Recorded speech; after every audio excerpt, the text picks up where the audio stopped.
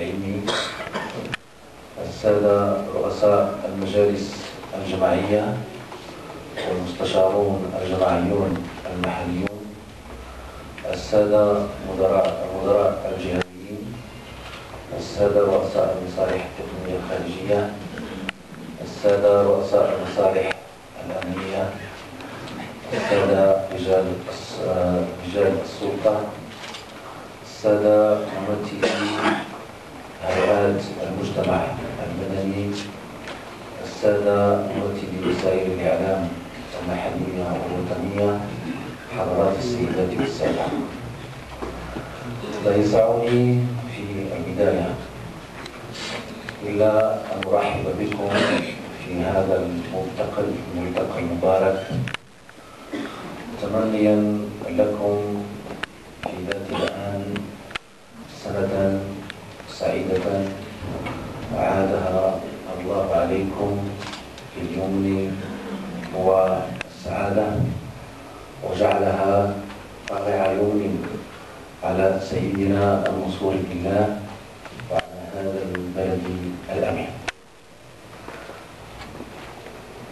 حضرات السيدات والسادة نلتقي اليوم آه، تنفيذا لوعد سبقني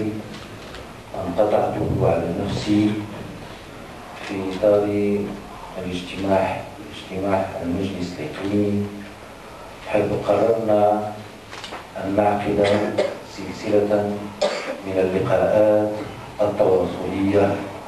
حول مختلف القطاعات التي تستأثر التي تستأثر باهتمام الجميع من مسيرين وهيئات ومن هيئات منتخبة ورؤساء مصالح خارجية ومواطنين. وقد عقدنا اجتماعات متعددة في هذا السياق ويأتي آه، واليوم لنا موعد مع هذا اللقاء الخاص المتميز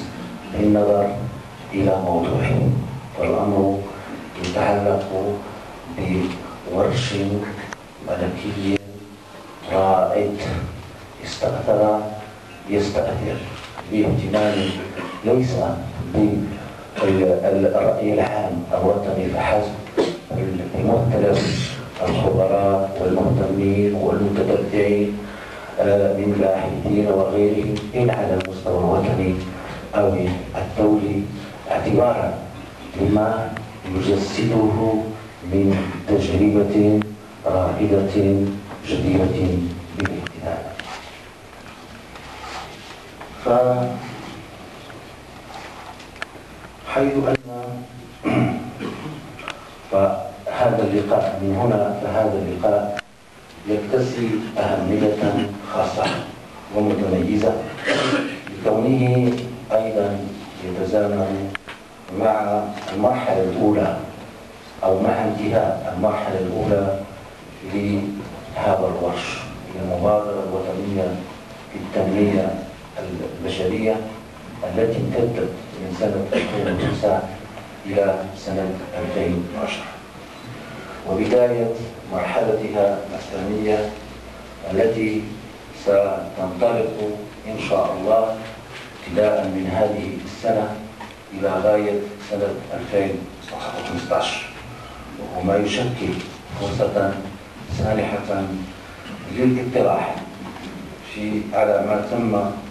إنجازه أو قطعه من أشواط